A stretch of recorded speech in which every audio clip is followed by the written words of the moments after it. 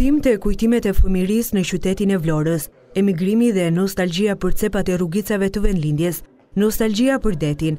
Kjo është përmbajtja e ekspozitës Rrënjët, të piktorit të njohur Agim Sulaj.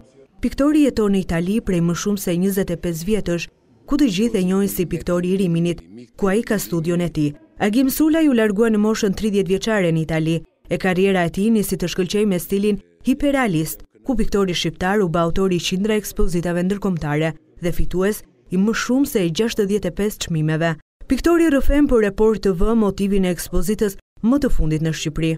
Rrënjët sepse vij në vendin tim e para, rrënjët sepse kështu titulohet kjo tablo, dhe rrënjët njeriu gjithmonë kërkon rrënjët e tija, vendi ku ka lindur, vendi ku është rritur, vendi ku zhvillohet, ku krijon aftësitë e tij, ku formohet si njeri, gjithmonë iu rikthehet rrënjëve si kërkim për të kuptuar se kush është, se cili është, se sa vlen, se sa, se çfarë mund të japë. Agim Sulaj i gërsheton kujtimet e fëmijërisë me valixhet e emigrantëve që fundosen në anije. Varfëria e botës mbipopullimi, emigrimi zënë vend në veprat e tij.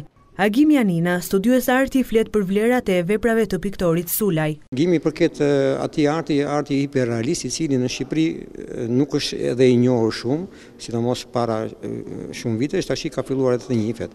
Gimi e zotëron mirë këtë lloj teknike, e ka perfeksionuar në, në maksimum. Italianët ata e quajnë piktor nga Rimini, por me origjinë shqiptare. Në fund do thosha që Gimi është një piktor shqiptar që banon në Rimini. Dhe kjo ka rëndësi, për arsye sepse Gimi përket shkollës shqiptare, formim shqiptar dhe gjithë botëkuptimi i tij është shqiptar.